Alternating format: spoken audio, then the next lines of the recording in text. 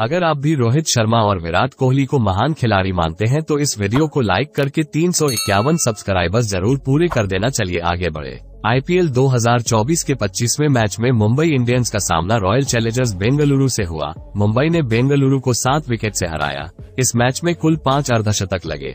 इस मैच में रोहित शर्मा और दिनेश कार्तिक के बीच मीठी नोकझोंक भी देखने को मिली।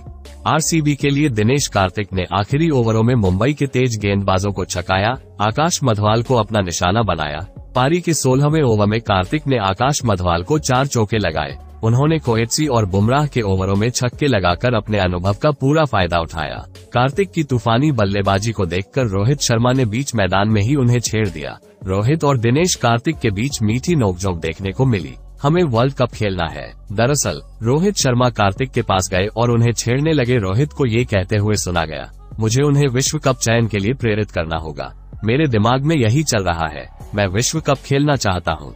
रोहित का ये बयान स्टंप माइक में कैद हो गया। रोहित और कार्तिक के बीच हुई लड़ाई का क्लिप सोशल मीडिया पर वायरल हो गया। दिनेश कार्तिक शानदार फॉर्म में है। सीज़न की शुरुआत 28 गेंदों पर 38 रन से की और पंजाब के खिलाफ 28 रन की नाबाद पारी खेली। कार्तिक ने के के आर के खिलाफ तेज़ी से 20 रन बनाए। इसके साथ ही उन्होंने मुंबई के खिलाफ सीज़न की अपनी पहली फिफ्टी लगाई। कार्तिक ने 23 गेंदों पर पाँच चौकों और चार छक्कों की मदद से नाबाद तिरपन रन बनाए।